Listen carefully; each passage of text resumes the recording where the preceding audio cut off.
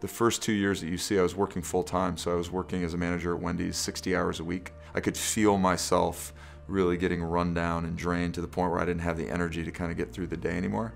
Kirk Perry was in the second business law class, and it met at 9 o'clock in the morning.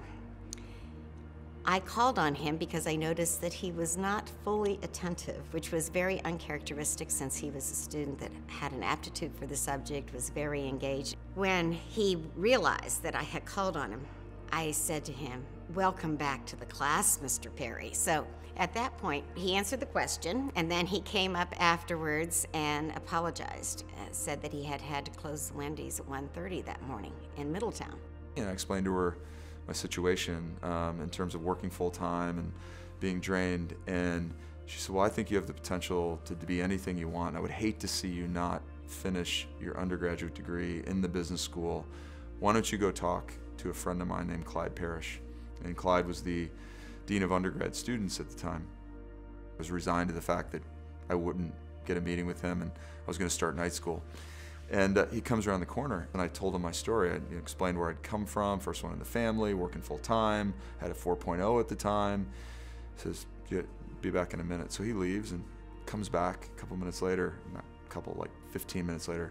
He's got a piece of paper in his hand, and he, on the spot, gave me a full scholarship offer. And I'll never forget this as long as I live. He said, The only thing I ask of this, you know, two things. He said, one, keep your grades up, which I know you will, but he said, two, make a difference while you're here if I'm going to enable you to do this, make a difference while you're here. And so that was really, for me, the pivot point that changed really my, the entire trajectory of my life. When I graduated from UC, I had never been west of Chicago and never been east of New York. And if somebody would have told me then, 29 years later, that I would have spent six years of my life in Asia and Korea and Japan, or that I would now be working for this company called Google, which wasn't even around, not even close when I joined P&G, I would have laughed and said, no way. So that, that's what my education and experience at UC enabled me to do when I, when I joined P&G. I was there when Kirk joined P&G. I was there from the very beginning. I saw what an incredible person he was first day, all the way through when we were both general managers 20 years later, running the global Pampers business. And honestly, what I can tell you is there is no greater leader that I saw inside of the Procter & Gamble company than Kirk Perry.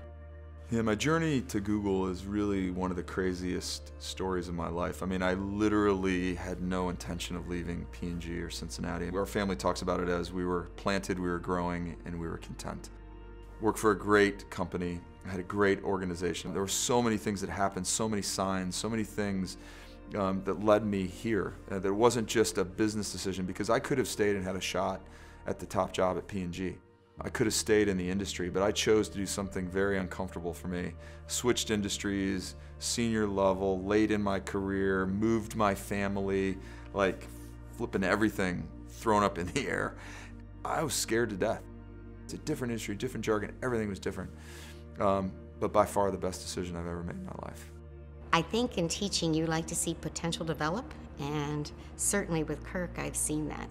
One of the things that I used to run into in conferences is I would go to a conference and I would say that I was from UC, and they would say, which one? Because the University of California, University of Colorado. And I now I can say the one that educated Kirk Perry, president of Google Brand Solutions.